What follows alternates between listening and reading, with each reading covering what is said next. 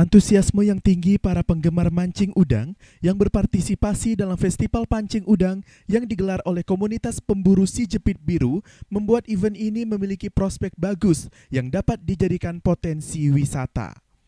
Untuk kali kedua, festival pancing ini dilaksanakan di Pelabuhan Parit 21 Tembilahan pada Kamis 10 Mei 2018 yang dibuka langsung oleh penjabat sementara Bupati Indragiri Hilir dalam hal ini diwakili oleh Asisten Administrasi Umum Sekretariat Daerah Kabupaten Inhil RM Sudinoto.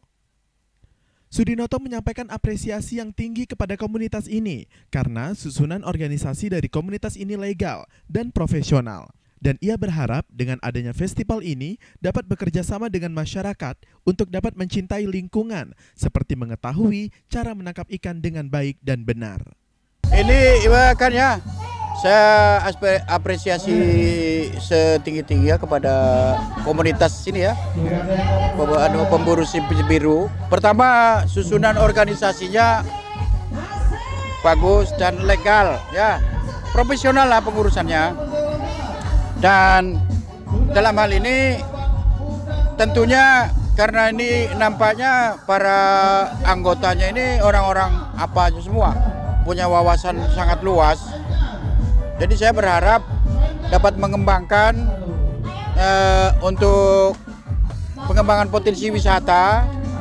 Di samping itu ini apa bisa menye, apa kerjasama dengan masyarakat untuk dapat menumbuhkan rasa cinta lingkungan ya yeah. untuk kelestarian lingkungan ya cara menangkap ikan yang baik tidak dengan dengan pestisida ataupun dengan sengatan listrik ya bahkan kita bagaimana supaya eh, awet itu Acara ini diikuti oleh 500 peserta dari Kabupaten Inhil dan ada juga dari kabupaten tetangga Indragiri Hulu.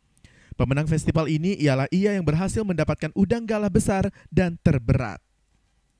Zulkifli Edi Gunawan melaporkan untuk Gemilang Televisi.